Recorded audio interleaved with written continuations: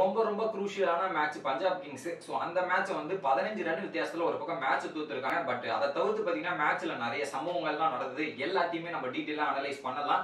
So அதுக்கு முன்னாடி சேனலுக்கு புதுசாக இருந்தீங்கன்னா ஒரே ஒரு சப்ஸ்கிரைப் வீடியோ பார்த்து உங்களுக்கு பிடிச்சிருந்தா லைக் மட்டும் போடுங்க கைஸ் ஸோ இந்த மேட்ச் வந்து ஸோ பஞ்சாபோட ரெண்டாவது ஓமான தர்மசாலா ஸ்டேடியத்தில் நடந்தது. ஸோ டாஸை வின் பண்ணி நாங்கள் பவுலிங் போடுறோம் அப்படின்ற மாதிரி சூஸ் பண்ணி போட்டாங்க. பட் வேற லெவலாக ஆடினாங்க. ஒரு பக்கம் டெல்லி கேபிட்டல் ஒரு மூணு ஓவர் தடுமாற்றம் இருந்தது ஸ்டார்டிங்கு அதுக்கப்புறம் வந்த எல்லா பேட்டருமே கிழிச்சு தொங்க விட்டாங்க. குறிப்பா வந்து பிரித்விஷா வந்து ஸோ அவரை வந்து சரியா ஆடலன்னு உட்கார வச்சு ஒரு பிரேக்குக்கு அப்புறம் வந்து ஒரு ஃபிஃப்டி அடிச்சாரு. டேவிட் வார்னர் ஒரு ஃபார்ட்டி அதுக்கப்புறம் வந்து ஆர்னார் ரூசே நீ எல்லாம் எதுக்குப்பா ஐபிஎல்ல இருக்க அப்படின்ற மாதிரி பல பேர் கேள்வி கேட்டிருந்தாங்க. நான் முத கொண்டு கேட்டிருக்கேன். அவெல்லாம் எதுக்குப்பா டீம்ல வச்சிருக்கீங்க அப்படின்ட்டு.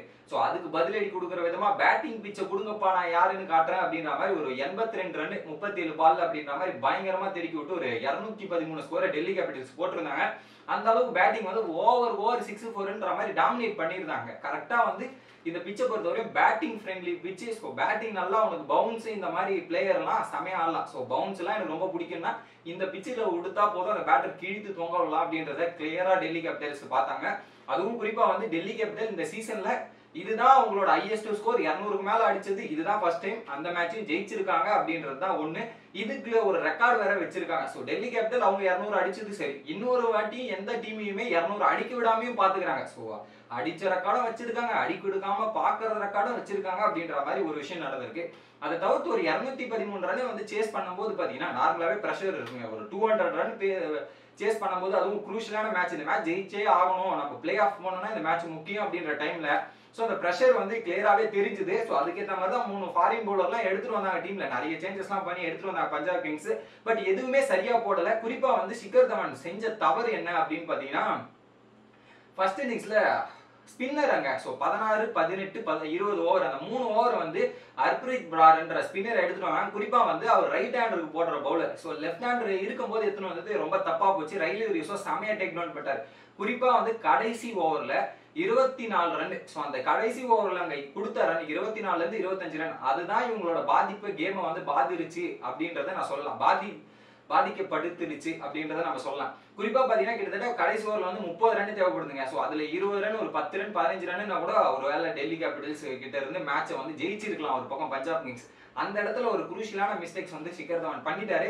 பட் அதே சேசிங்ன்ற டைம்ல பாத்தீங்கன்னா ஃபர்ஸ்ட் ஒரு மெய்டனு அடுத்த பாத்தீங்கன்னா அடுத்த பால்லே வந்து சிக்கர் தவன் அவுட் ஏன்னா மெய்டன் கொடுத்ததுக்கு அப்புறம் ஒரு இரநூறு ஸ்கோரை சேஸ் பண்ணும்போது பவர் பிளேல மினிமம் ஒரு அறுபது ரன் வரணும். ஸோ அதனால பவர் பிளேல ஒரு விக்கெட் போனதுக்கு அப்புறம் ப்ரெஷர் பில்ட் ஆச்சு. அதுக்கப்புறம் அங்கிருந்து எடுத்துட்டு வந்தாங்க. ஒரு பக்கம் அதர்வா டைடேவா இருக்கட்டும் இல்ல பிரபு இருக்கட்டும் பார்ட்னர்ஷிப் எடுத்துட்டு வந்தாங்க. அதுக்கப்புறம் லிவிங் ஸ்டோன் வந்து தாங்க அந்த ஆட்டத்தையே திருப்பி போட்டாரு. பட் ஆட்டத்தை திருப்பி போறதுக்கு முன்னாடி அவரோட இன்னிங்ஸுக்கு முன்னாடி வந்து ரெண்டு மூணு ரெண்டு கேட்ச் ரெண்டு டிராப்பு அப்புறம் ரெண்டு ரன் அவுட் அதுக்கப்புறம் ரெண்டு நோ பால்ன்ற மாதிரி டெல்லி கேபிட்டல்ஸ் பேட்டிங்லாம் கலக்கிட்டாங்க. ஆனா பவுலிங்ல இவங்க பண்ண கூத்து இருக்குது பாருங்க பல விஷயங்கள். ஸோ அதெல்லாம் பிடிச்சிருந்தா நிறைய ரன் வித்தியாசத்துல ஜெயிச்சிருக்கலாம். லிவிங் ஸ்டோன் அவுட்டே எடுத்திருக்கலாம்.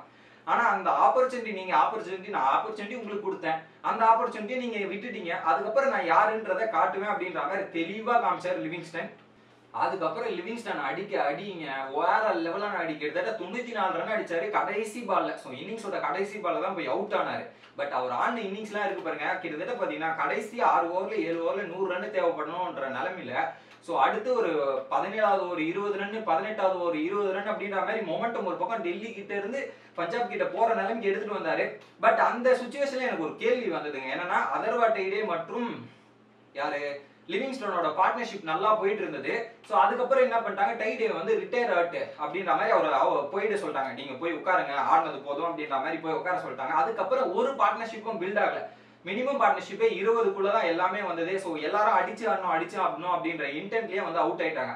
எனக்கு தெரிஞ்சு அதுக்கு அதர்வாவே ஆட வச்சுட்டு ஸ்ட்ரைக் ரொட்டேட் பண்ணி லிவிங் ஸ்டோனுக்கு கொடுக்க சொல்லியிருக்கலாம். அடுத்து வரவங்களாம் அடிச்சு இன்டென்ட் எடுத்துட்டு போயிருப்பாங்க.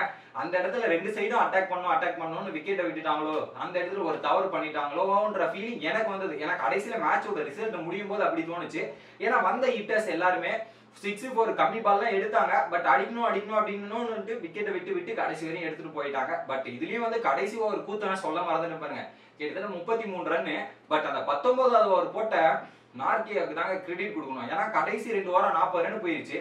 அந்த ஓவரில் வந்து ஒரு அஞ்சு ரன்னு கொடுத்துட்டு சாம் கரனோட மெயின் விக்கெட்டு அடுத்ததாக பார்த்தீங்கன்னா ஒரு ரன் அவுட் அப்படின்ற மாதிரி குரூஷியலான ஓவர் வந்து எப்பவுமே டி டுவெண்ட்டியை பொறுத்தவரை பத்தொன்பதாவது ஓவர் அந்த பத்தொன்பது ஓவரை செமையாக போட்டு ஸோ ரன்னை ரெஸ்ட்ரிக்ட் பண்ணது யாருன்னு பார்த்தீங்கன்னா நார்கே. செமையாக பண்ணார். அதுக்கு முன்னாடி ஓவரில் செம அடி வாங்கினாரு. பட் அந்த குரூஷியலான ஓவரில் வந்து நான் ஒரு சாம்பியன் பிளேயர் அப்படின்றத நிரூபிச்சாரு. ஒரு பக்கம் நார்கே கடைசி ஓவர்ல முப்பது ரன்னுனா ப்ரெஷருங்க ஸோ ரிங்கு சிங் அடிச்சாரு. ஏயா இவர் அடிக்க மாட்டாரா அப்படின்றத யோசிக்கலாம். எல்லா மேட்சும் எல்லாரும் அடிச்சிட்டா அப்புறம் எப்படிங்க அப்படின்ற மாதிரி தான் இருந்தது. பட் அதுலயும் ஒரு ட்விஸ்ட் நடந்ததுங்க. கிட்டத்தட்ட பாத்தீங்கன்னா நாலு பா- மூணு பாலுக்கு பதினாறு ரன்னுன்ற நிலைமை வரா மாதிரி ஒரு சுச்சுவேஷன் ஆனா அந்த டைம்ல ஒரு நோ பால் போட்டு ஒரு நோ பால் சிக்ஸ் போச்சு. மேட்சே கையை விட்டு போன நிலைமையில ஒரு நோ பால் போட்டு சிக்ஸ் போனது திரும்ப பஞ்சாப் சைடுக்கு ஒரு ஆப்ஷன் மூணு பால்ல பதினாறு அப்படின்றது ஸோ அடுத்த பால ஃபுல் டாஸ் தான் நான் போடுவேன் அப்படின்ற மாதிரி இஷாந்த் சர்மா ஃபுல் டாஸ் போட்டாரு. அதையும் யூட்டிலைஸ் பண்ண முடியாம கடைசியில பதினஞ்சு ரன்ல தோத்துட்டாங்க. பட் இந்த மேட்ச் தோத்ததுல யார் சந்தோஷமா இருக்காங்களோ இல்லையோ இது மறுபக்கம் வந்து மத்த தான் ஓகேப்பா நமக்கு நிம்மதியா இருக்கு. பஞ்சாப் கிங்ஸ் தோத்துருக்காங்களா? ராஜஸ்தான் ராயலுக்கு ஒரு பக்கம் சந்தோஷமா இருக்கும். ஏன்னா பதினாறு பாயிண்ட் போற டீம் எல்லாம் தோத்தா ராஜஸ்தானுக்கும் வாய்ப்பு இருக்கும்ல. அந்த வகையில இப்போதைக்கு இந்த மேட்சை பொறுத்தவரையும் ராஜஸ்தான் ராயல் இந்த அளவுக்கு சந்தோஷமா இருப்பாங்க. அடுத்த மேட்சும் ராஜஸ்தான் ராயல் கூட தான் பஞ்சாப் கிங்ஸ் இருக்கு. ஸ்டேடியம் பயங்கரமா இருக்கு பேட்டிங் ஃப்ரெண்ட்லியா இருக்கு. எல்லாம் கச்சிதமா பொருந்தி இருக்கு பட் ராஜஸ்தான் வந்து அந்த இடத்துல என்ன பண்றாங்கன்றத வெயிட் பண்ணி பார்க்கலாம். இன்னைக்கு பொறுத்தவரையும் ரெண்டு பேர் கலக்குறாங்க. ஒன்னு ஃபர்ஸ்ட் இன்னிங்ஸ்ல யாருன்னு பாத்தீங்கன்னா ரூசே. ரெண்டாவது இன்னிங்ஸ்ல பாத்தீங்கன்னா லிவிங் ஸ்டோன் ரெண்டு பேருமே பயங்கரமான அடி. ஆனா ரூசிய வந்து இன்டென்ட் வேற லெவல காமிச்சாரு. எல்லாமே செம்மையா. ஹிட்டிங் ஷாட்ஸ் எல்லாம் அப்படியே மிடில் ஆஃப் த பேட் தான்.